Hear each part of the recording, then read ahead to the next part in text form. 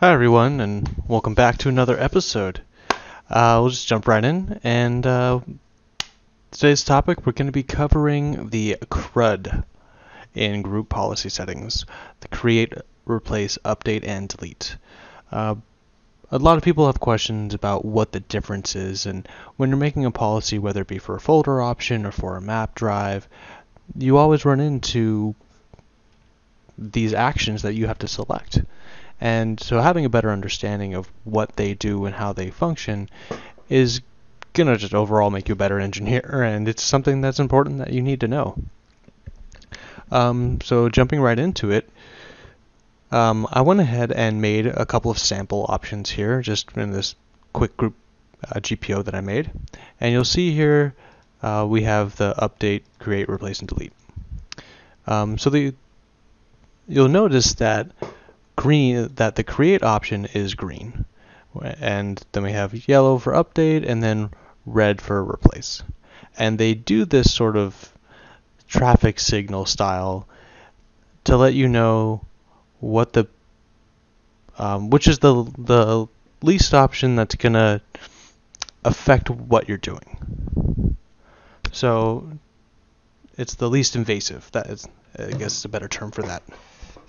Um, so update would be if it exists, it'll be updated with new settings, and if there are other settings associated with this, they will be maintained. If it doesn't, if this object doesn't exist, create it. So change it if it exists, and create it if it does not.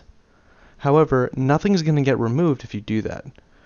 So there's still so if you have an existing policy that you want to remove you want to completely change, this is not going to be the best option for you. This is only going to modify the specific changes located in this policy.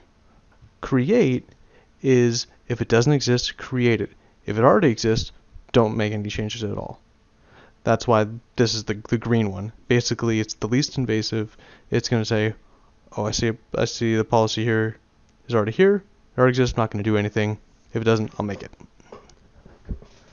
The next option is replace. If it already if it already exists, delete it and recreate it with these settings. If it does not exist, create it.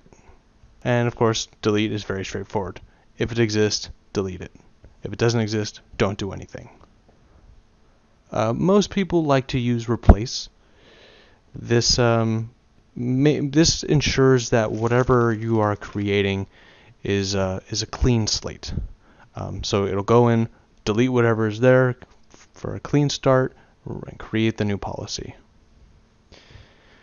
It really depends on your environment and what you're trying to do, but hopefully this will give you a better understanding of when you should use what type of policy, and it really comes down to your environment and your preference.